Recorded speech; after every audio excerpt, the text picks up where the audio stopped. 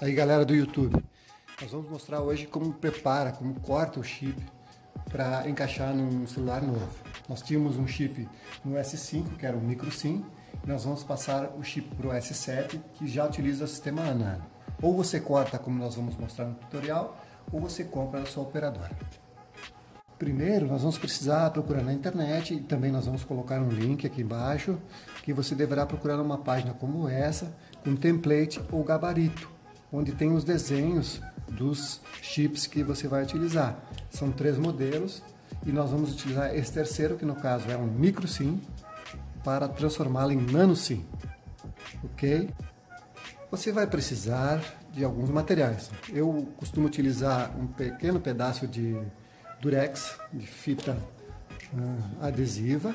Tá? Você tira um pedacinho, faz um rolinho nele para ficar com cola dos dois lados e você coloca esse pedacinho de fita aonde você vai grudar o chip a ser cortado.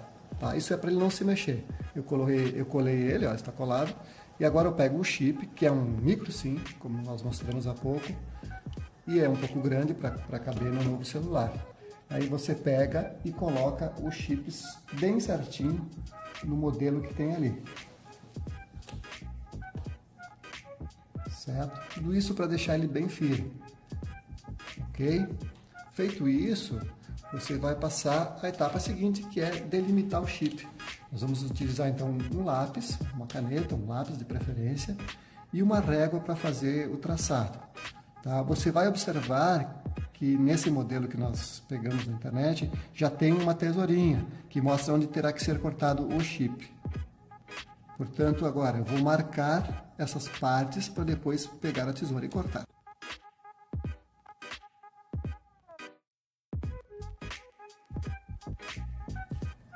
Feitas as delimitações, a gente vai tirar o chip, tá? que nós tínhamos grudado com um pequeno durex ali.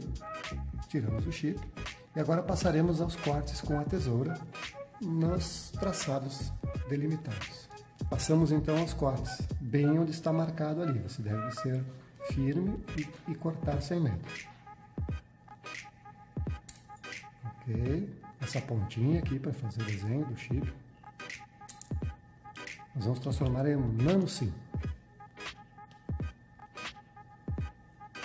Você não precisa ter medo porque corta um pouquinho do metal, mas não pode ser muito, tem que ser na medida.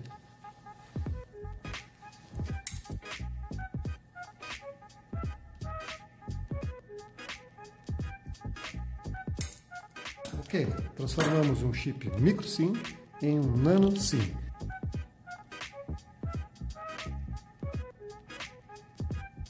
Você pega o nano chip, gira ele para baixo para encaixar na, no modelo aqui do celular.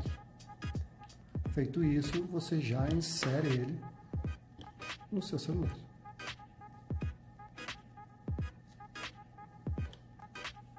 Ok, eu coloquei o chip, você viu, e agora você verifica que ele já está captando o sinal da operadora. Isso significa que o trabalho foi bem sucedido. Valeu pessoal, um grande abraço. Se gostou do nosso vídeo, por favor, dê um like. Até mais.